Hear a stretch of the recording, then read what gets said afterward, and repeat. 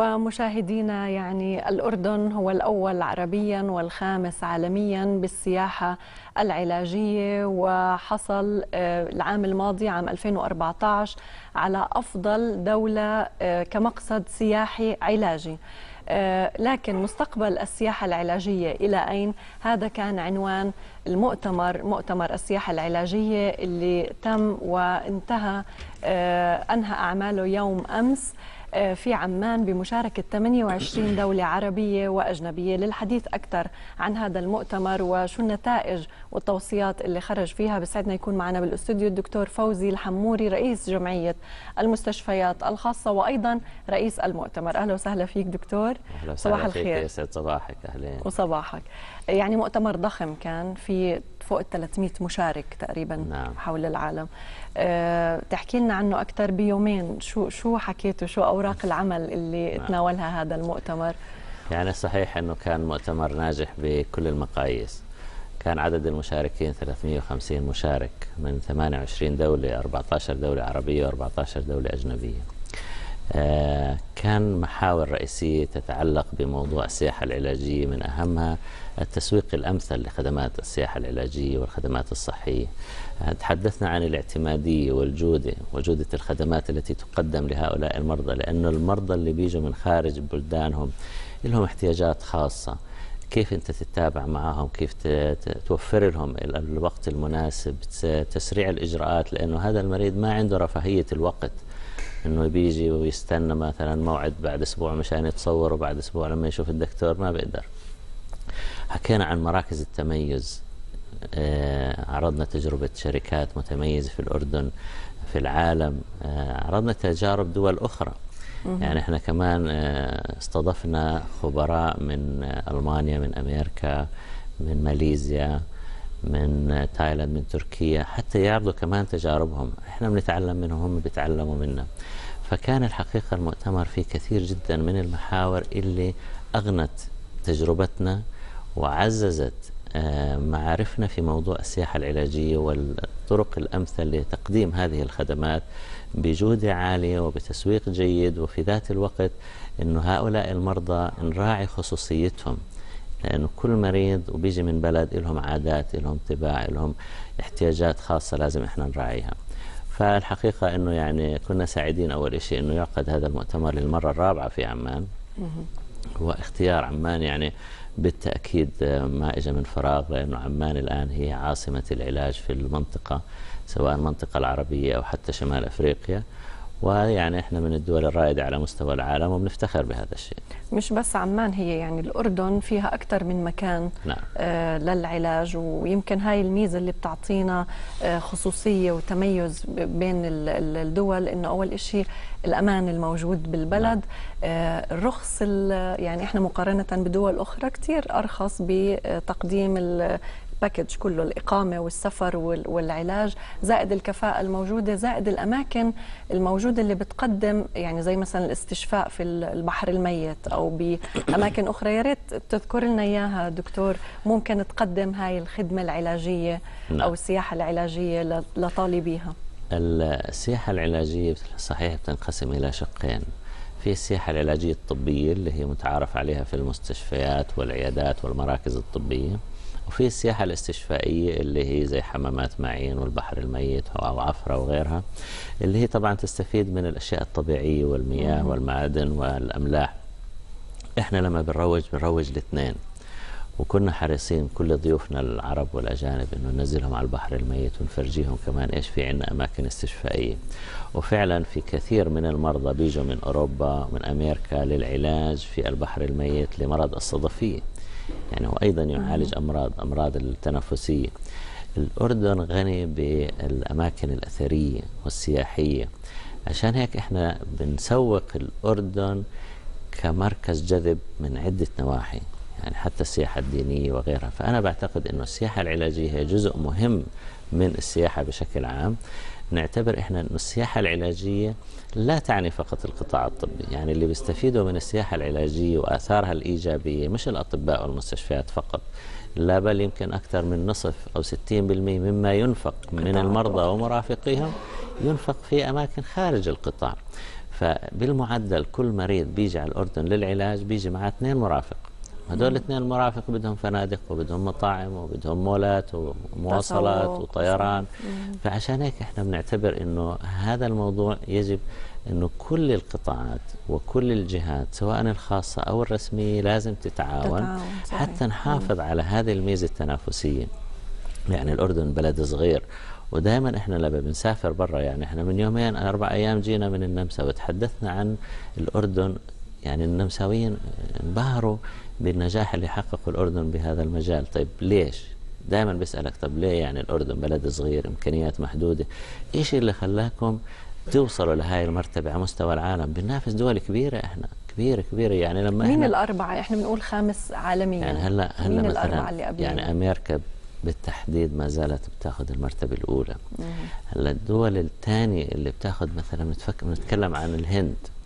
الهند طبعا قارة يعني بنحكي الهند بنحكي على مليار ونصف نسمة. كم هائل من المستشفيات. فطبعا متوقع إنه بيجيها أعداد كبيرة من المرضى. بنتكلم عن تايلاند. وبعدين تيجي إما ألمانيا أو بريطانيا يعني احدى الدول الأوروبية. الصين لا أنا توقعت إنه تكون واحدة من هاي الدول الحقيقة الصين. إنه الصين آه، السياحة الطبية عندهم داخلية أكثر يعني في داخل مش من المحافظات الصينية. بيجيهم من الخارج بس مش أعداد كبيرة. مم. وما بنشوف الصين الحقيقة في المؤتمرات والمعارض. يعني إحنا بالسنة الواحدة بنشارك ب 20 نشاط اللي هو بين مؤتمر ومعرض سياحة علاجية في الإقليم وفي العالم. ما بنشوف الصين بتسوق نفسها في موضوع السياحة العلاجية. بكفيها الداخلية. بالتأكيد أنا بعتقد إنه يعني الصين عندها عندها فرص كبيرة وعندها إمكانيات لكن أنا بعتقد إنه معطين أولوية للمرضى لأنه أعتقد في ضغط كبير على القطاع الصحي الصيني. ممكن يصير استثمارات مستقبلية. في كثير دول الآن تسعى إنها تستثمر في موضوع السياحة العلاجية وبتنافس. يعني إحنا كمان لازم نعترف إنه في منافسة. من هون أنا بحكي دائما إنه لازم إحنا نحافظ على هذه الميزة. تفضلتي حكيت الأسعار. يعني فعلا أقل الأسعار إذا بدنا نقارن بأي دولة بتقدم سياحة علاجية هو الأردن مم. مع العلم إنه مستشفياتنا من أحسن المستشفيات في العالم حاصلة على الاعتمادية الدولية صحيح. أطبائنا من أفضل الأطباء مم. يعني جلالة الملك لما بيتحدث في السي إن إن الأسبوع الماضي بيقول سر نجاح الأردن في السياحة العلاجية هم الكوادر البشرية صحيح لما بيتحدث إنه الأردن وصل هذه المرتبة هذا إحنا بشعرنا بالفخر لأنه جلالة الملك بفاخر العالم بنجاحاتنا طيب. ولكن بحط علينا مسؤولية كبيرة. يعني لما إحنا بنسمع هذا الكلام معناته علينا مسؤولين إنه على الأقل نحافظ على نحافظ على المستوى. ال level نرفع لازم كمان. نرفع لأنه لو ضلينا زي ما إحنا الناس بتسبقنا. مم. فالمفروض إنه إحنا كمان لا دائما نحسن نزيد من جودة الخدمات نوسع من الخدمات ندخل تكنولوجيا جديدة. آه نحافظ إنه الأسعار كمان ما ترتفع لأنه في ضغط على المستشفيات في ارتفاع بالكلف فواتير الطاقة الرواتب الأجور. يعني في ضغط نخشى أنه إحنا يؤدي إلى رفع الأسعار.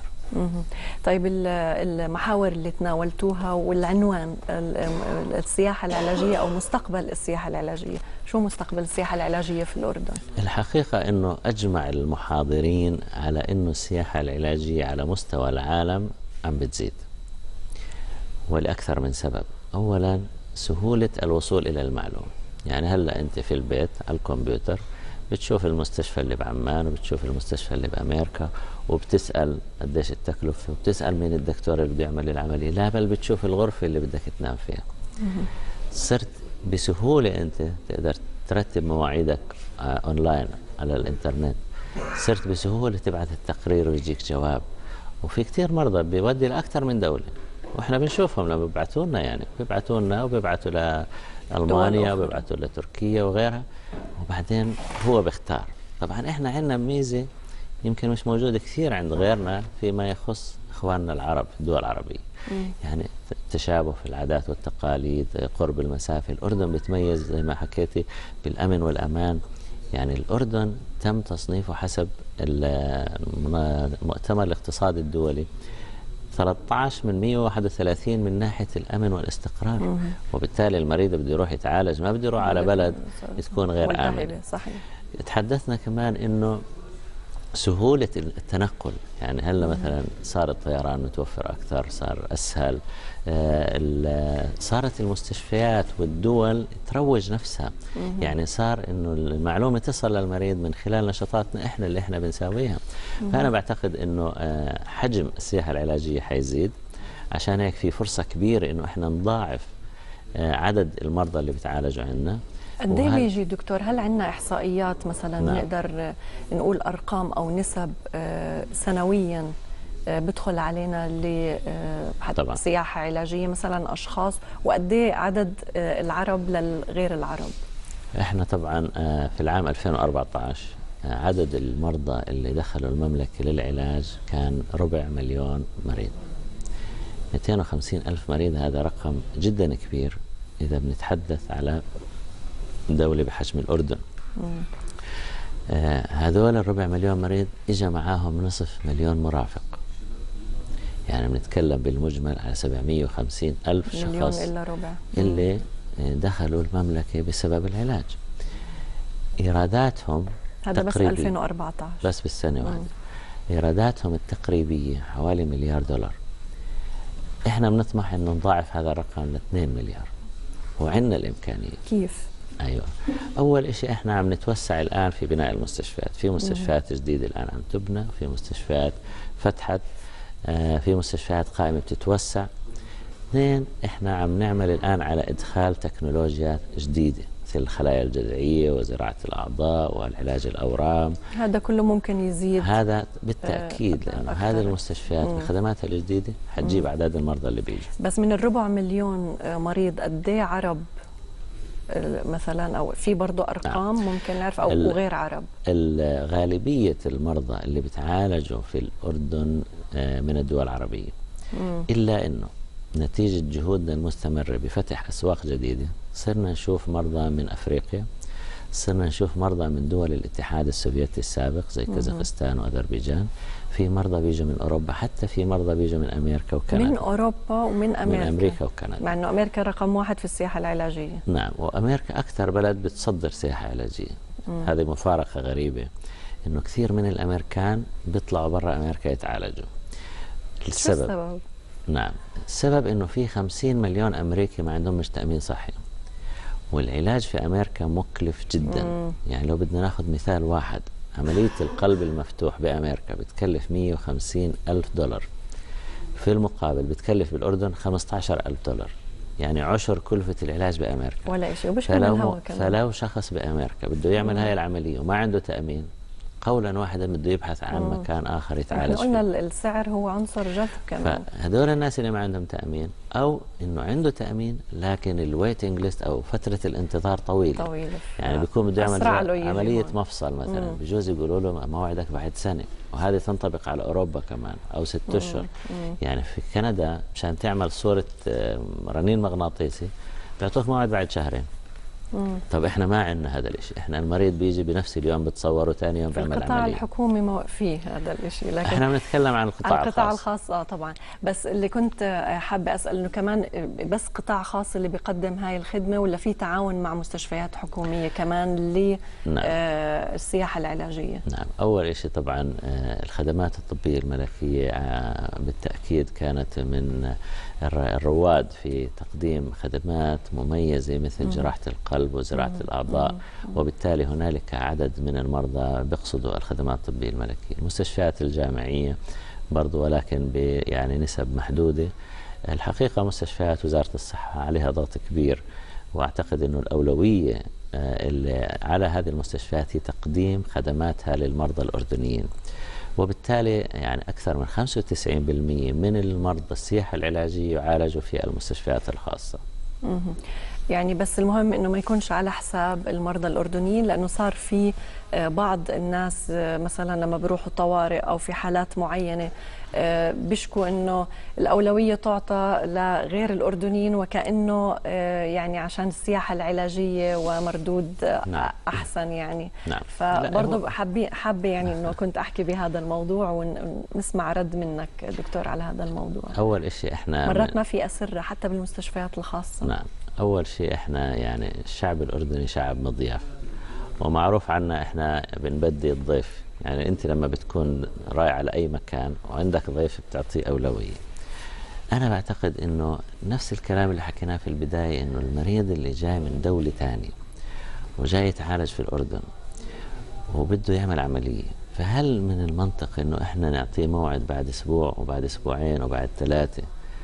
أنا بعتقد إنه ما حيجي على الاردن إذا بده يعرف إنه هاي المعاملة حتصير. المستشفيات الخاصة بشكل عام نسبة الإشغال فيها اليوم لا تتجاوز السبعين بالمئة. حتى مع السياحة العلاجية. وبالتالي توفر الأسرة موجود. م.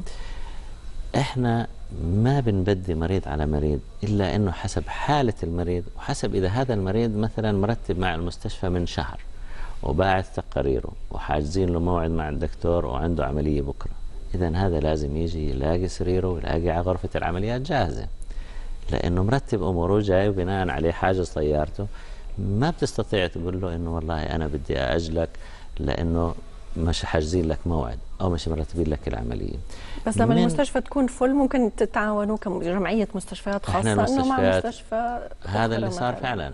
يعني إحنا لما بصير في عندنا ضغط بين المستشفيات بنتعاون وبنتم تحويل مرضى من مستشفى إلى مستشفى لتخفيف الضغط من مكان إلى آخر حتى نستوعب المريض الأردني واللي هو أو له الأولوية.